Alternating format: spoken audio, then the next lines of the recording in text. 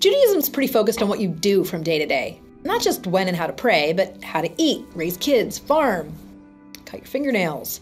If you want to learn how to live in a Jewish way, you can watch all our videos, but eventually you're going to want to dive into Jewish law, or halacha. Some people say halacha, some people say halacha, which means the path or the way. Here's an overview. It starts with the Torah. The Torah is the first five books of the Hebrew Bible. The Hebrew Bible includes the Torah, the prophets, and the writings. For short, you can call the Hebrew Bible Tanakh, which stands for Torah, Nevi'im, and Ketuvim. If you're Jewish, saying Tanakh beats the pants off saying Old Testament which is a Christian term used in contrast to the New Testament. When the Hebrew Bible was being codified, there was debate over which books to include in the canon. And there's a whole list of books called the Apocrypha that didn't quite make the cut.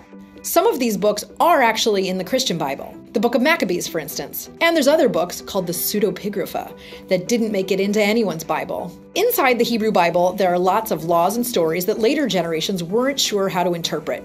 For example, the Torah says not to work on the Sabbath, but what does that mean? What's work? Does it apply to office jobs or just manual labor? Does it include working out? So along come six relatively short books called the Mishnah, which try to explain it in a style that's pretty straightforward and sparse. The Mishnah gives a list of 39 things not to do on Shabbat, like baking, sewing, building, etc. It doesn't really explain why those 39 activities are forbidden, it just gives the list. And then, just as the Mishnah tries to explain the Torah, there's another set of books that attempt to explain the Mishnah. This is called the Gemara, and it's massive 63 tractates or sections. The Gemara elaborates on the Mishnah by going into a long conversation. So the Mishnah says simply, you can't thresh on Shabbat. Great, no problem, you say.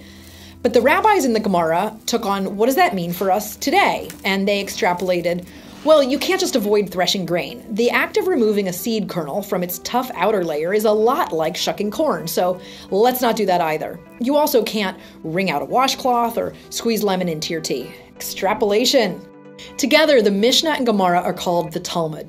There are two Talmuds the Babylonian, or the Bavli, and the Jerusalem edition, or the Yerushalmi. Same basic idea, but they were put together in two different locations, so they have some really interesting variations. The Talmud is so large that yet another set of texts came along to simplify and codify it the Mishneh Torah and the Shulchan Aruch. And yet, if you spent years making your way through all those texts, you still wouldn't know everything Jewish, like, say, whether escalators are allowed on Shabbat. So along comes modern Jewish case law. People send questions about specific situations to an expert and receive written answers called responsa. You can look up responsa online, and they cover everything from immunization to gambling to escalators.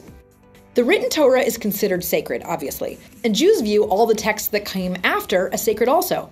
They are known as oral Torah. Jewish law is not frozen in time, it's continuing to unfold today. Local communities are empowered to study and interpret halakha. This varies a lot in different branches of Judaism today. In some communities, all the texts that we've discussed are considered binding. And if there's a question about them, you go to your local rabbi, whose decisions are binding. In other communities, people are individually free to study and make their own decisions about halakha. These really different approaches to understanding and observing Jewish law are one of the main differences behind different Jewish movements. For more about the various Jewish movements, watch the next video in the Judaism 101 series. And subscribe to BimBam to get more Judaism 101 videos as they come out.